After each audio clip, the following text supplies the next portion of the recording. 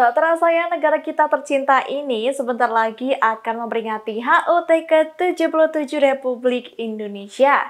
Menariknya nih, Sobat Tribun Jobli bisa ikut berpartisipasi mengikuti upacara HUT ke-77 Republik Indonesia pada 17 Agustus 2022 mendatang di Istana Negara loh. Namun, kamu perlu mendaftarnya terlebih dahulu ya dan harus penuhi beberapa syarat ini. Ya, pada tahun 2022 ini, upacara peringatan detik-detik proklamasi dan upacara penurunan bendera Sang Merah Putih di Istana Merdeka dapat diikuti oleh masyarakat. Tentu saja Sobat Tribun Jual bisa ikut berpartisipasi ya pada rangkaian upacara tersebut.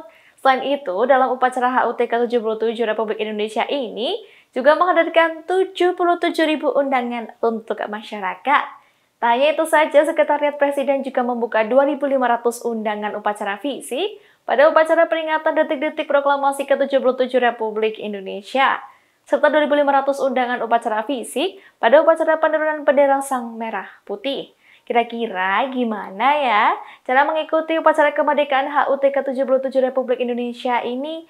Sekretariat Presiden secara resmi membuka pendaftaran melalui laman pandang istana, yaitu www.pandang.istanapresiden.go.id. Kamu bisa memilih mau upacara langsung hadir di istana atau melalui video conference loh. Jika memilih upacara hadir langsung di istana, nah berikut ini caranya.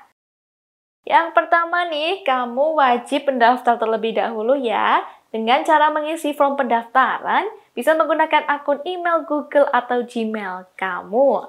Lanjut yang kedua, konfirmasi email. Setelah pendaftaran berhasil, kamu akan menerima link konfirmasi di email.